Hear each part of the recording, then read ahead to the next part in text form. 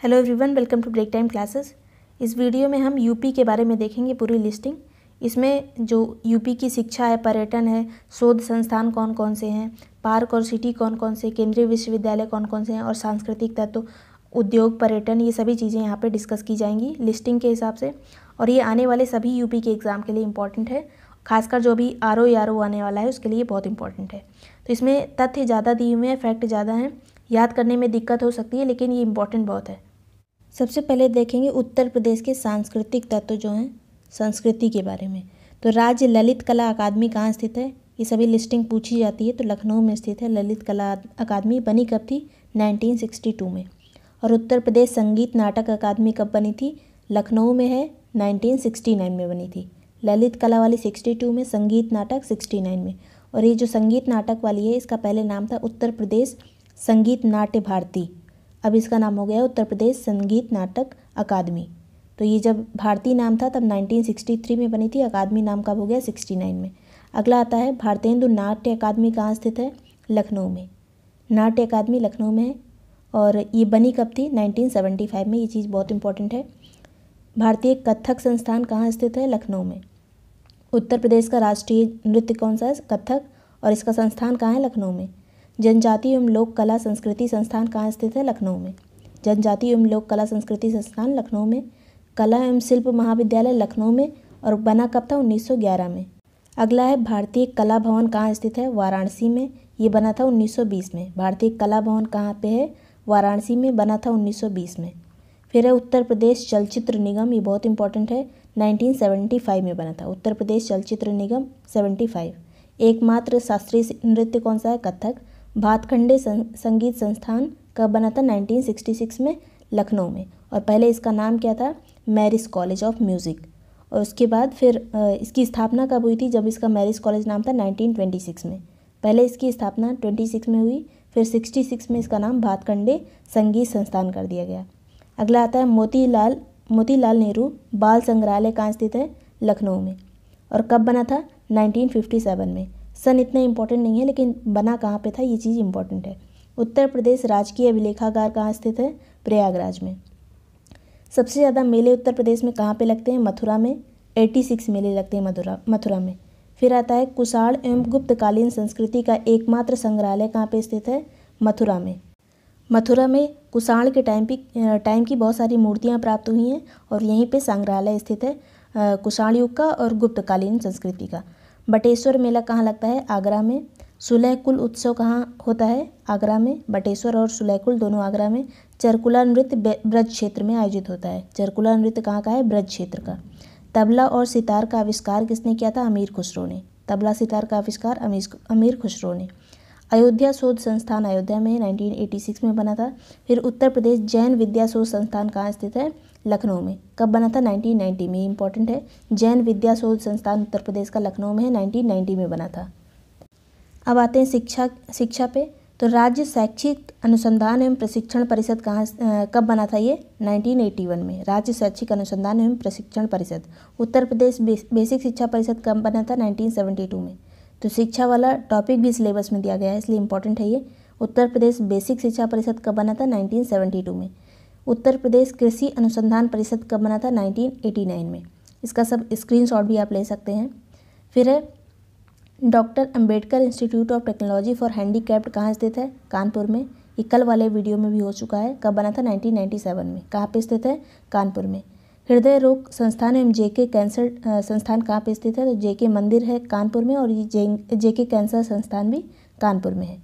फिर है, अखिल भारतीय आयुर्विज्ञान संस्थान कहाँ पे, एम्स कहाँ पे है यूपी में तो दो जगह रायबरेली और गोरखपुर। फिर आता है, उत्तर प्रदेश आयुर्विज्ञान विद्यालय कहाँ पे स्थित है? आयुर्विज्ञान विद्यालय सैफई, इटावा में। फिर उत्तर प्रदेश भाषा विभाग कब बना था? 1958 में। भाषा विभाग 58 में, संस्कृत संस्थान कब बना था? 76 में। हिंदी संस्थान 76 में। संस्कृत और हिंदी दोनों 76 भाषा संस्थान 58 फिर उर्दू को द्वितीय भाषा कब घोषित किया गया? 1989 में। डीम्ड विश्वविद्यालय कितने हैं? नौ। डीम्ड विश्वविद्यालय नौ हैं, फिर राज्य विश्वविद्यालय कितने हैं? Thirty one. अब जो इम्पोर्टेंट है कि केंद्रीय विश्वविद्यालय कितने हैं यूपी में? सिक्स। कुल विश्वविद्यालय कितने हैं? इतना इम्पोर्टेंट नहीं है फोर्टी सिक्स जो छः केंद्रीय विश्वविद्यालय उनके नाम क्या क्या हैं? तो अलीगढ़ मुस्लिम यूनिवर्सिटी, जो कि अलीगढ़ में है, बनारस हिंदू विश्वविद्यालय बनारस में है, बाबा साहेब भीमराव अंबेडकर विश्वविद्यालय लखनऊ में है। इलाहाबाद विश्वविद्यालय प्रयागराज में है। राजीव गांधी राष्ट्रीय विमानन विश्वविद्यालय रायबरेली में और रानी लक्ष्मीबाई केंद्रीय कृषि विश्वविद्यालय झांसी में है। तो ये छः विश्वविद्यालय हो गए यूपी के। फिर ये चीज़ें इंपॉर्टेंट नहीं है। निजी निजी विश्वविद्यालय पॉलिटेक्निक कितने हैं, ये नहीं पूछा जाता है। फिर आता है उत्तर प्रदेश के शोध संस्थान। ये इंपॉर्टेंट है। भारतीय विश्व विज्ञान अनुसंधान संस्थान कहाँ स्थित है? तो विश्व वाला है लखनऊ में। राष्ट्रीय वनस्पति अनुसंधान संस्थान लखनऊ में है। केंद्रीय औषधि अनुसंधान संस्थान लखनऊ में है तो विश्व भी लखनऊ में है, औषधि भी लखनऊ में है। फिर राष्ट्रीय सरकरा संस्थान कहाँ है? कानपुर में। इंडियन टेक्नोलॉजिकल रिसर्च सेंटर कहाँ है? लखनऊ में। Indian technological research centre Lucknow में। Birbal Sahni institute of palaeobotany कहाँ पे है? लखनऊ में। भारतीय पशु चिकित्सा अनुसंधान संस्थान कहाँ पे इज्जतनगर। इज्जतनगर कहाँ है? बरेली में। Indian institute of handloom technology कहाँ स्थित है? वाराणसी में। हैंडलूम टेक्नोलॉजी वाराणसी में। राष्ट्रीय कृषि वानिकी अनुसंधान केंद्र कहाँ पे स्थित है? झांसी में।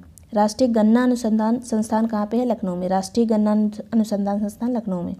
फिर है केंद्रीय पक्षी अनुसंधान संस्थान कहाँ पे? इज्जतनगर में। भारतीय दलहन अनुसंधान संस्थान कानपुर में है। दाल वाला कानपुर में है। सरकरा वाला भी शुगर वाला भी कानपुर में है।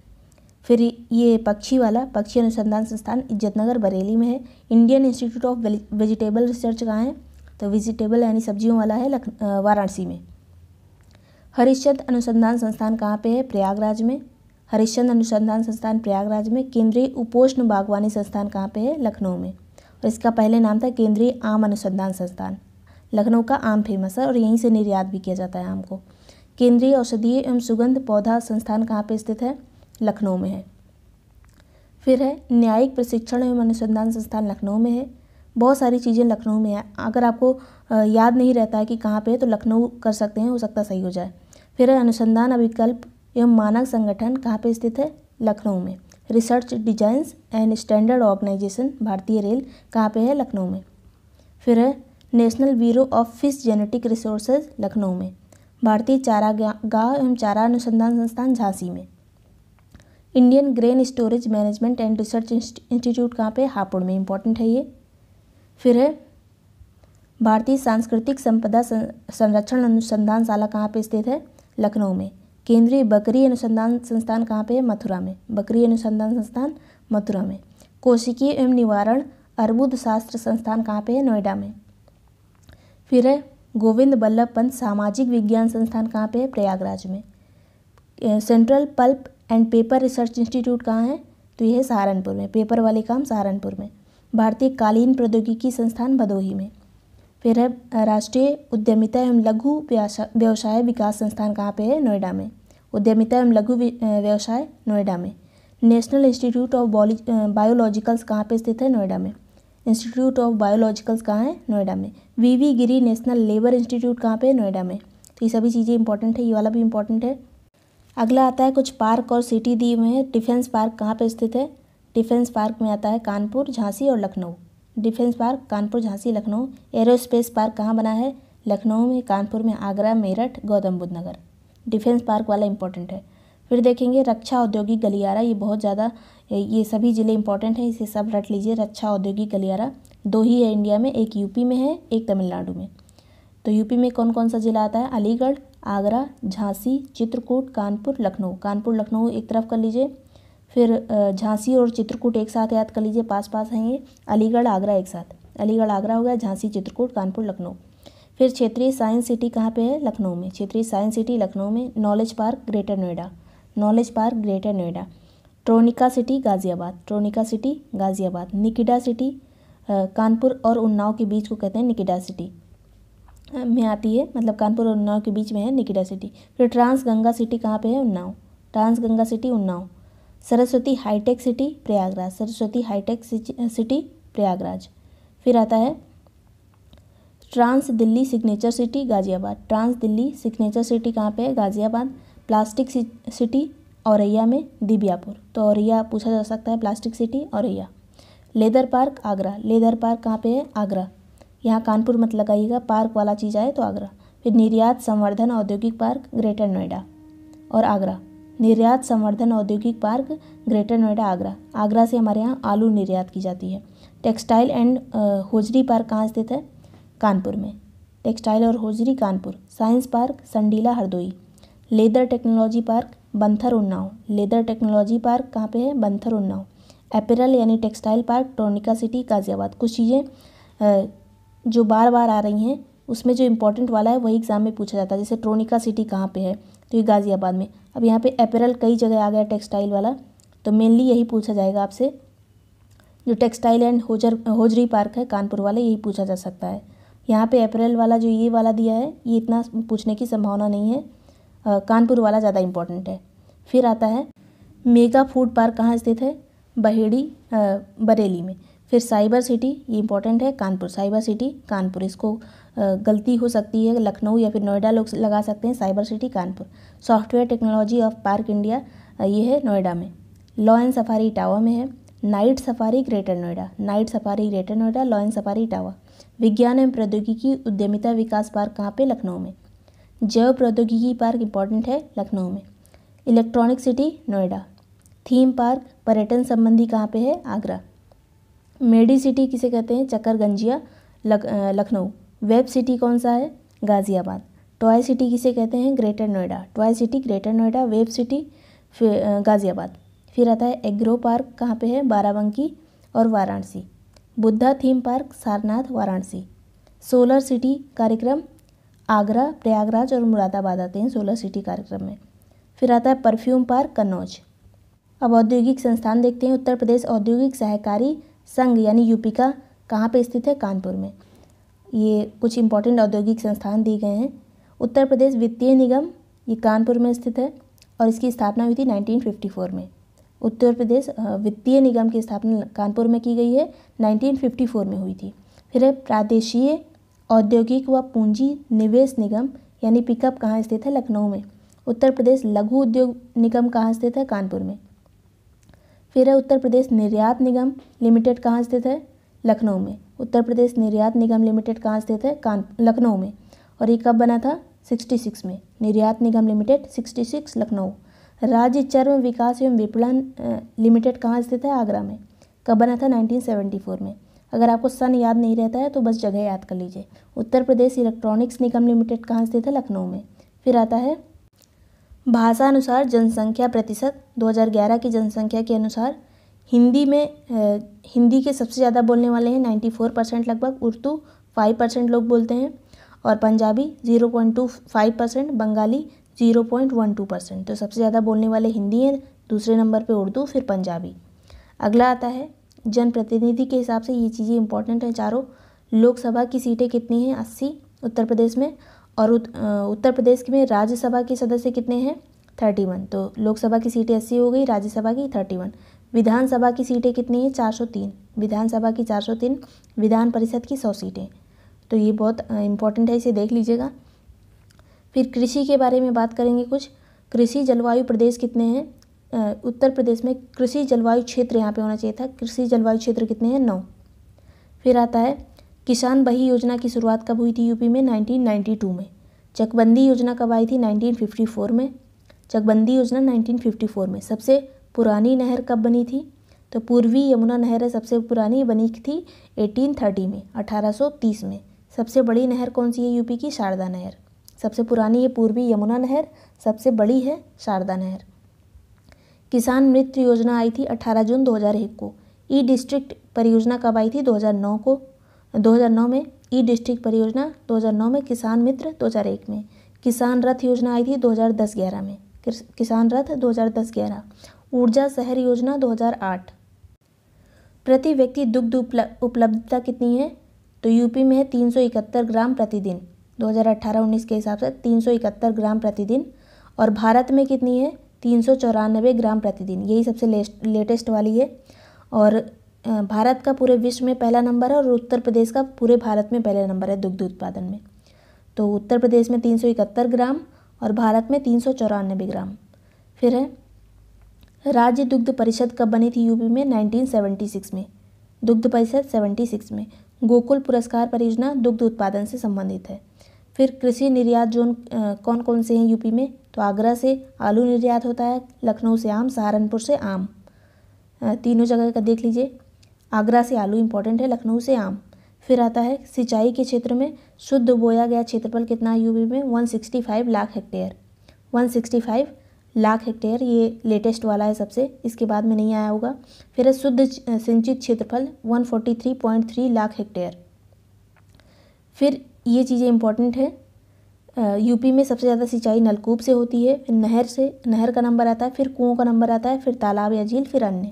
ये चीज़ें ऐसे क्रम पूछ लिया जाता है। पहले नंबर पे कौन है? नलकूप। फिर वन के बारे में देखते हैं यूपी के। दो हज़ार उन्नीस वाले जो वन रिपोर्ट थी, उसके आधार पर सोलह हज़ार पाँच सौ बयासी वर्ग किलोमीटर वन क्षेत्र है यूपी में। और प्रतिशत की बात करें तो six point eight eight percent हो है यहाँ पे one. Six point eight eight percent area में वन है यूपी में। और कुल वृक्षावरण और वनावरण प्रतिशत देखा जाए तो nine point two zero percent है। Nine point two zero percent. ये वाला केवल वन प्रतिशत है, ये कुल वना, वृक्षावरण और वनावरण। फिर आता है, वनावरण के अंतर्गत क्षेत्रफल कितना है? तो चौदह हज़ार आठ सौ पाँच वर्ग किलोमीटर। और जो पूरे क्षेत्रफल का सिक्स पॉइंट वन फाइव है, अति सघन वन कितने? One point zero nine percent. मध्यम सघन one one point six nine percent. खुले वन कितने? Three point three seven percent. अति सघन वाले याद कर लीजिए, one point zero nine percent. Total कितने? हैं six point one five percent. और ऊपर वाला जो था, ये था अभिलिखित। कुल अभिलिखित अभिलिखित वन प्रतिशत कितना है? Six point eight eight percent. अब आगे चलते हैं। कुल वन्य जीव संरक्षण केंद्र यानी अभ्यारण्य कितने ट्वेंटी एट। वन्य जीव बिहार ग्यारह हैं। पक्षी बिहार चौदह हैं। पक्षी बिहार कितने चौदह। ये नंबर नहीं पूछे जाते हैं। तो राष्ट्रीय नंबरों में बस ये दोनों पूछा जा सकता है। राष्ट्रीय उद्यान कितना है? एक, जिसका नाम है दुधवा। और टाइगर रिज़र्व दो हैं। टाइगर रिज़र्व दो हैं।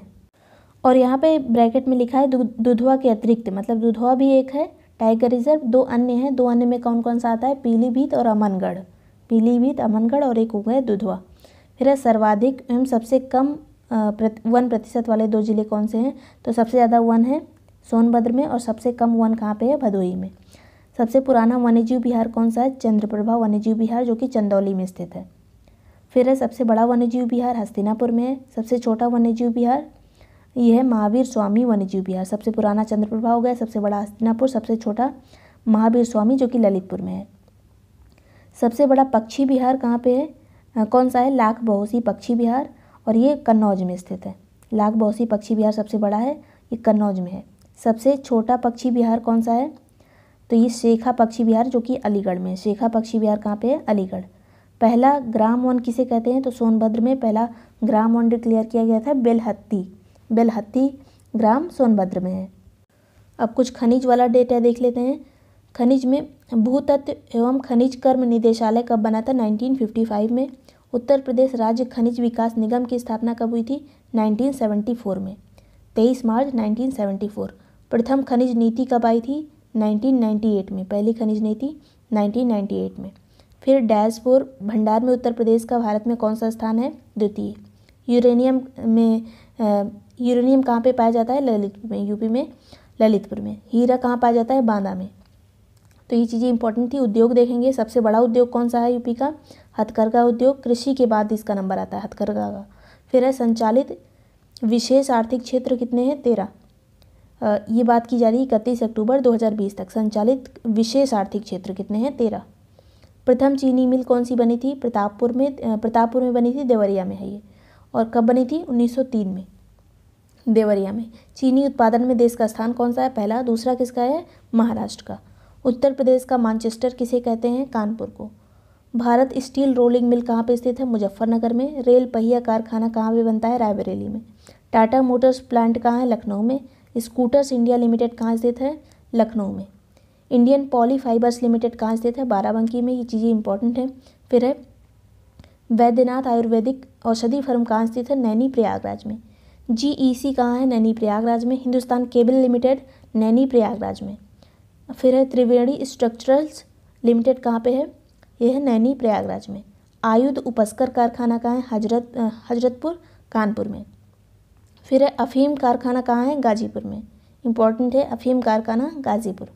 यूरिया उर्वरक कारखाना इफ्को का कहाँ पे है? दो जगह आंवला बरेली में। आंवला कहाँ पे आता है? बरेली में और फूलपुर प्रयागराज में। कृत्रिम कारखाना कृत्रिम रबर का कारखाना कहाँ पे है? मोदी नगर जो कि बरेली में आता है। भारत इलेक्ट्रॉनिक लिमिटेड कहाँ पे है? गाज़ियाबाद में।